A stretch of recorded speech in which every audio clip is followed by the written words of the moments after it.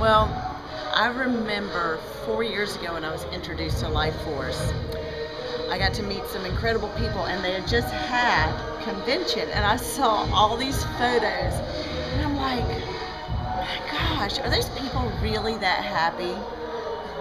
Well, then I finally got to come to my first convention a couple of years ago, and I'm like, oh my gosh, they really are that happy. And it's like what I've just discovered with each and every event that I've come to.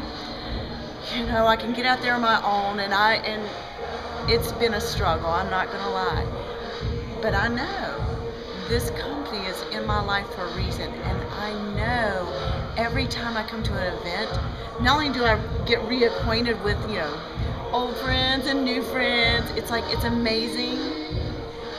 Just the family feeling and just the love and just the support and here I don't feel like a failure.